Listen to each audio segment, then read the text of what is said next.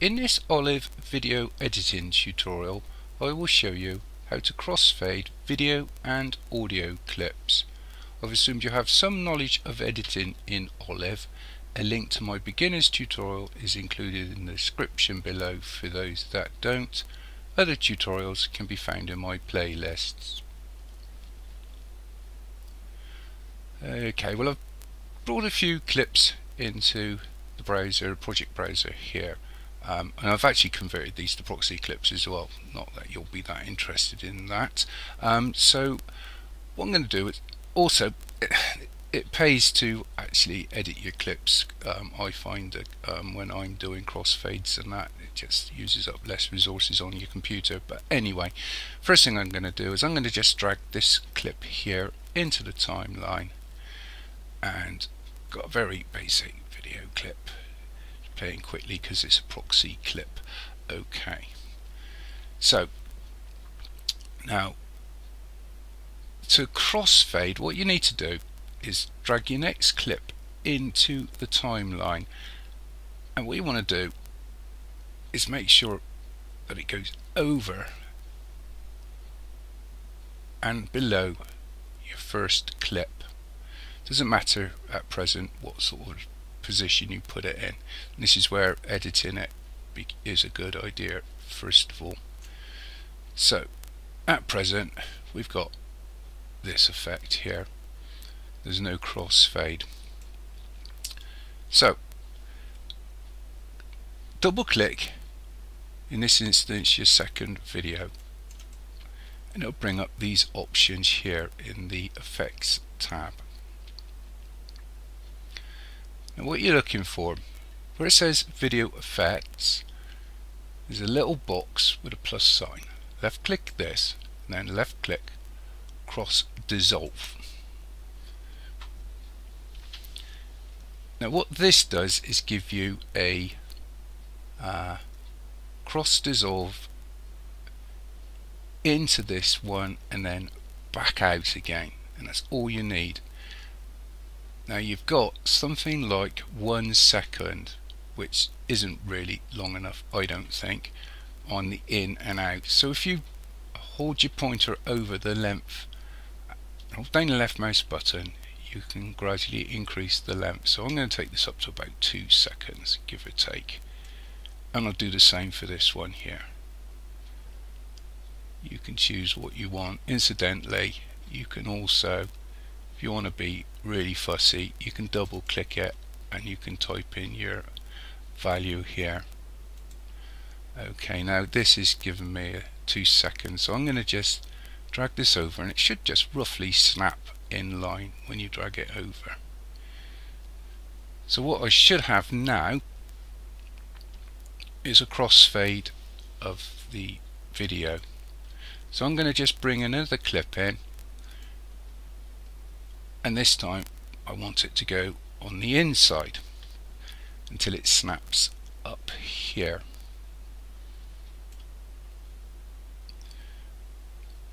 So what we should have now is a crossfade. Incidentally if say at any point I want let's say this was the very end clip.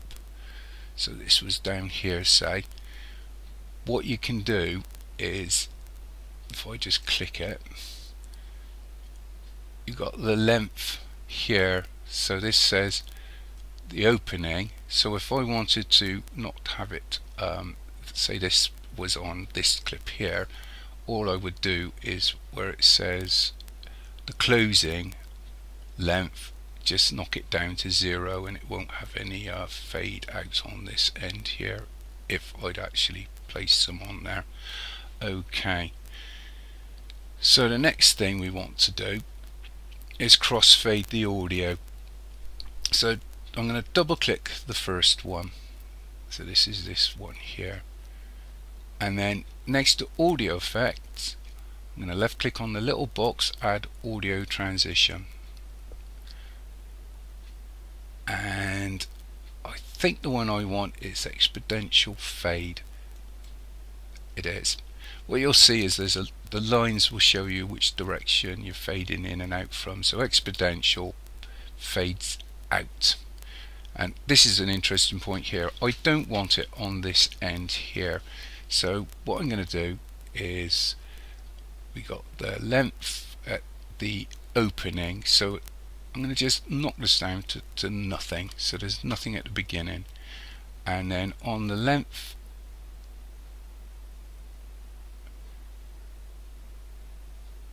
at the closing I'm going to take it up so it's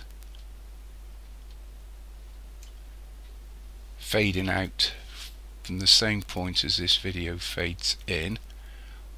I'm going to double click this one I'm going to left click on that button next to audio effects and this time I'm going to left click on linear fade. And where it's where I've got the box for sometimes it's a bit difficult seeing what you're looking at. Okay length for the opening. I'm gonna need to find it a minute. Where is there you are. Length for the opening. I'm going to drag this up so that it matches to the end. And again length for the clothing, closing. Bring this that direction. So as you can see you've got your arrows. It clearly shows you it's going from nothing upwards and then this one's from everything downwards. So you're going to get a cross in the middle. You can change these if you cut your audio so that it fades to nothing then fades back in but I'm not going to go to that trouble and again on this one double click it bring in an audio and this one's going to have to go exponential because it's going to need to fade in and then the length at the opening I'll take it up to match.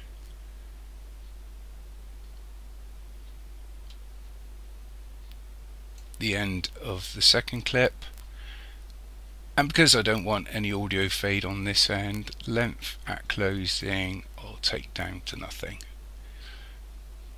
What you should have now is a video hopefully that will cross over both audio and video